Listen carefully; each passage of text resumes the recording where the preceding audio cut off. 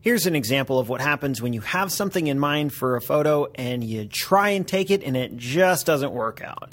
This is a welcome sign with some butterflies on top, some rusty butterflies, and a plant, a vine growing on the side. I thought it might be cool, so I brought my camera over. It's uh, our it's our neighbor's house. Actually, it's been it, when I took this photo, it had been vacant for quite some time, at least a year, and this sign was kind of rusty and overgrown. And I was like, man, I could make a make a statement about how it's a welcome sign, except it's the house is vacant, so there's no one to really welcome you. And I don't know what I was thinking. Uh, I thought it would create some sort of nice contrasty mood. It doesn't.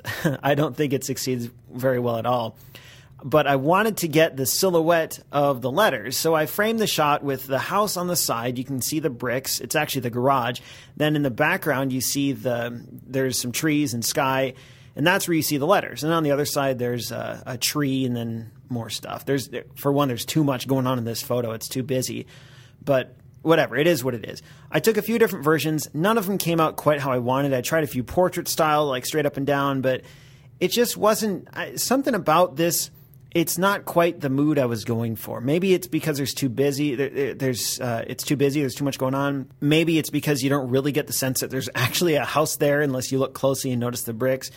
But it was fun to try. The house has since been purchased. Our new neighbors are super cool, and I do feel welcome when uh, when we see them in the yard. But yeah, this sign, you know, it's you might as well try, right? And uh, you never learn unless you try stuff. So that's that was this photo. It's just me trying out something and uh, learning, hopefully, a little bit from it.